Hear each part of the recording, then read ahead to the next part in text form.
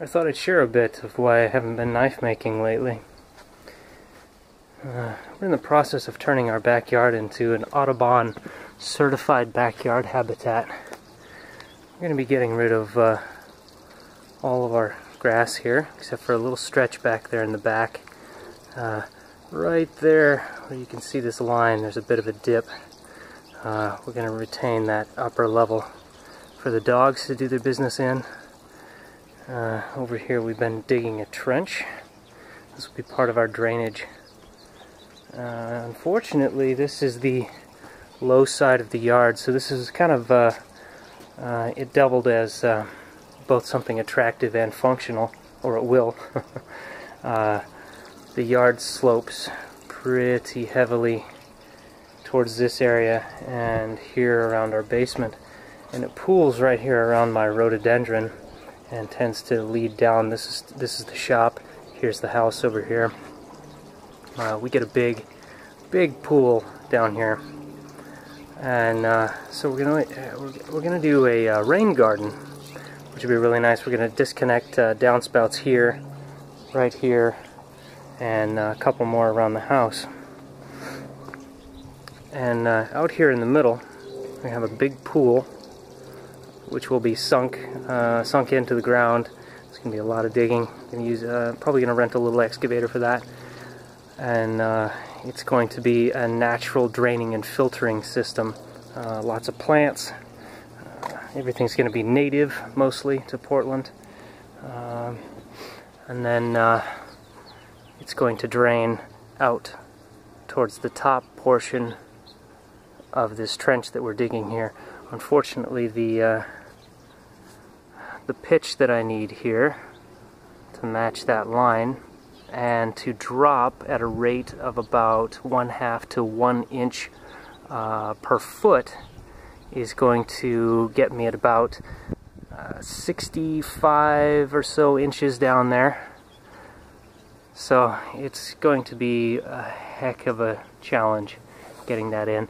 Uh, what we did here was we just ran the rototiller through it, uh, about as far down as it would go and then dug that out. And then yeah we will be uh, renting an excavator for the for the remaining portion here.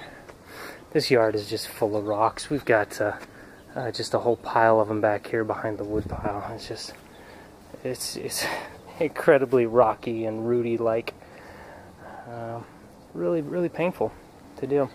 But the uh, the pool out here will be quite sizable which would be really nice I've also been doing a lot of gardening. Uh, we've got some unseasonably warm weather here in Portland.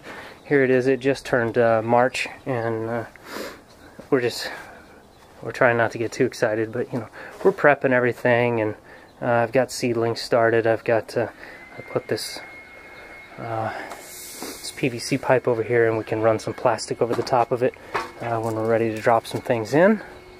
I've also eliminated most of the vegetation off the top of this hill. This used to be juniper shrubs all the way to the top here and I could barely walk in along here in amongst to get my uh, uh, my vent put in up there. I don't know if you can see the gable vent fan up there. Uh, but this was all juniper and ivy. Um, put a little latch here in the gate, which is nice so we can get out here. We're going to turn this whole hillside into uh, some natural plants uh, or native plants rather than uh, there's some remaining ivy. But this whole hillside right here the entire hillside looked like this top to bottom. Just ivy and junipers. Uh, it extends all the way out to the corner of the street here which is a pain. So I'm gonna be getting rid of that. That's why I've not been doing very much knife making lately uh, this up here, I think we're going to turn into a nice little garden, uh, little seating area. Uh, just a place to enjoy the evening, evening sun. Yeah, that's what I've been up to. Hope you guys have been well. I've uh, been watching a lot of your videos. All you guys, all my subscribers. Uh, you guys uh, tend to put out a lot more content than I do. Uh, Got my robe tools out. Man, those things really save the time. Uh, I had my Highlander out here a little while ago as well.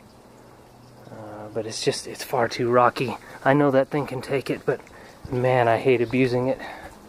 It's just a real pain. So yeah, that's what's up. Take care, guys.